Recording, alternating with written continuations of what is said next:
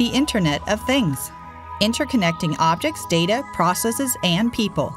Long ago ceased to be merely a future vision and is now a reality. The IT company Cisco estimates that products and solutions relating to the Internet of Things today already generate sales of some 613 billion US dollars worldwide.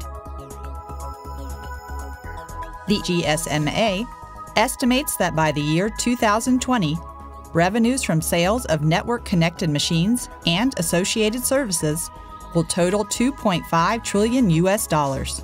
At the same time, the Internet of Things will cut business costs by a further 2 trillion US dollars through direct savings and more efficient services. It seems likely that the NSA data privacy scandal will long be a subject of media focus and political debate. Many people are uncertain about how they want to use the internet in future. And we choose such a time to publish a new publication on the Internet of Things? Yes, especially now.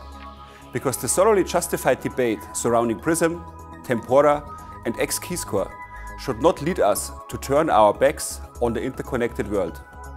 The opportunities offered by the Internet of Things are far too great. This TQ presents a number of examples. More efficient healthcare systems, a reduced risk of road traffic accidents, and more flexible and energy efficient factories. Professor Carlo Ratti, a leading expert on smart cities, explains how the Internet of Things will change people's day-to-day -day interaction with their environment. The participants in our roundtable discussion all agreed that such an interconnected world will fundamentally change society and even our political structures. All of this is no mere vision. Most of the applications described in this TQ have already been turned into reality. So, we are at the threshold of a new market trend, which offers enormous potential.